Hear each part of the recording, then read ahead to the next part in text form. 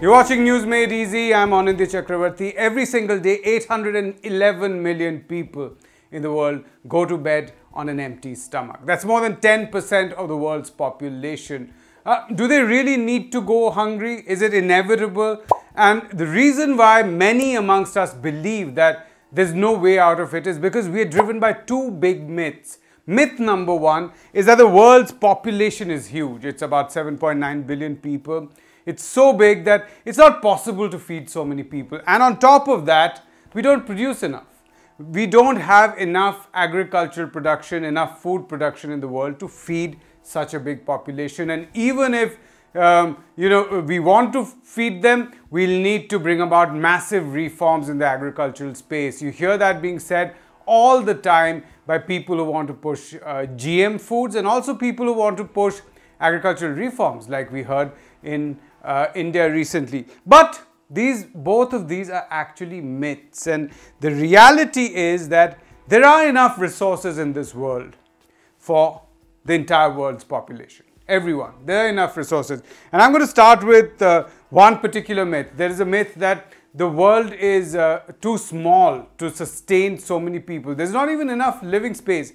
Let's take the idea of living space. Actually, there's a lot in this on this planet for everyone to have a comfortable home. But let me just take uh, Delhi. Delhi's population density is approximately about 12,600 people per square kilometer. Of course, that's a very high density of population. And I'm, let's assume that uh, a decent city population would be about 5,000 uh, people per square kilometer. If that were the average in the world, the entire world's population would fit into half of India. Half of India's area could accommodate the entire world's population if it only consisted of cities with about 5,000 square people per square kilometer. Remember that I'm talking about half of India. So think of the entire world. There, there, are, there is enough place for the world, our planet to sustain a large number of people, much larger than what we have right now. Okay, that's um, about space on the world. But is there, ultimately I'm talking about hunger, is there enough uh, food on this planet to feed people? Is there, uh, are we producing enough? I'm not even talking about potential. Are we producing enough right now? And the average person thinks, no, we aren't, right? that is why people go hungry because there's scarcity of food. Well, let's just look at how much human beings actually need per day and the average is about 2250 calories 2000 for women and about 2500 for men these vary from culture to culture place to place. I'm just talking about a global average which most people agree on. And for a balanced diet what is required? You need uh, carbohydrates which i'm representing with some slices of bread here. It can be anything. It can be rice roti bajra roti anything noodles. You need carbohydrates. You need uh, proteins. It could be animal protein including eggs, um, uh, legumes, milk, right?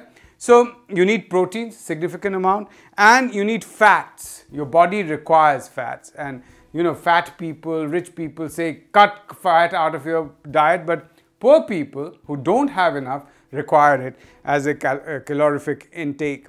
And then you need fruits and vegetables for various other things, vitamins, uh, roughage, and uh, various nutrients which are absent in other things, fruits and vegetables provide us with them. Now let's look at what, uh, what I'm going to do is I'm going to take the total global production of these items, I'm going to average them out and I'm going to divide it by the world's population to see that per person what is the daily availability of these things. So let's start with cereals. If we take uh, the cereals that are tracked by the uh, uh FAO, right, and you'll find that on an average per person there is about 600 grams of dry cereal available in this world per person and I'm talking about 600 grams. The actual availability is close to 1 kilo. I'm removing a certain amount about 40% or more. I'm 40 odd percent I'm removing from it saying that this is used for other purposes. For instance for livestock right?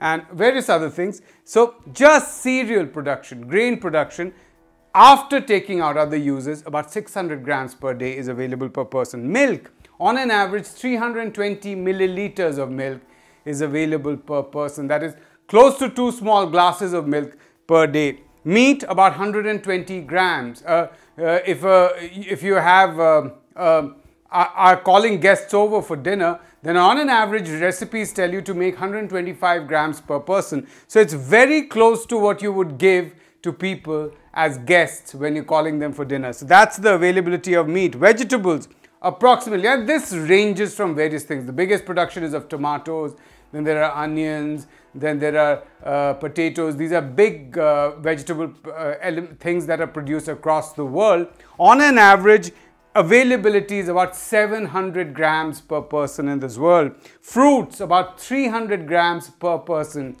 Most affluent people in India don't eat that much, right?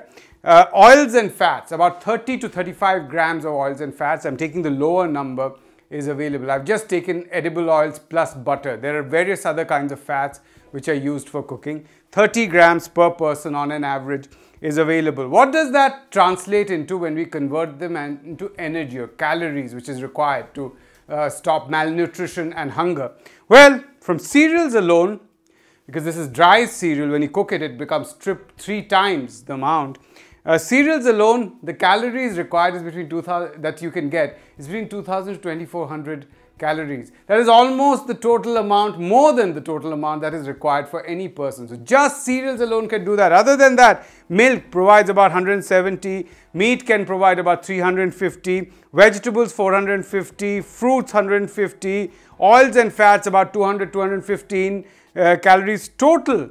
It's between 3300 to about 3735 odd calories can be provided to each person in the on this uh, earth right now given the level of production that we have the reason we don't have that is because there is huge food wastage especially in the developed world the people eat much much more than they require to whereas in the poor countries people don't get to eat Whatever we produce as of now, forget about any reform, any technological advancement, is enough to feed 1.5 times the world's population today, right?